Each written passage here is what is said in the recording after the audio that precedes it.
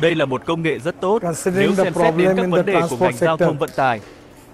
The mass rapid transport Vận tải hành khách khối lượng lớn và các nhóm giải pháp bằng điện là công nghệ tương lai. futuristic technology and which is Và điều này rất hữu ích trong việc giảm chi phí hậu cần. logistic cost.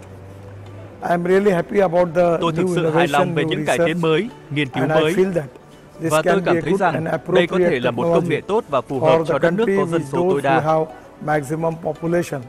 And they should Và điều này cost sẽ là cái giá tác động đến bạn. An toàn, an toàn Security và is an also one toàn. of the most Bảo mật cũng là một trong những điều quan trọng nhất mà chúng ta cần tập trung vào đó. Và chi cost phí cũng ảnh hưởng đến bạn.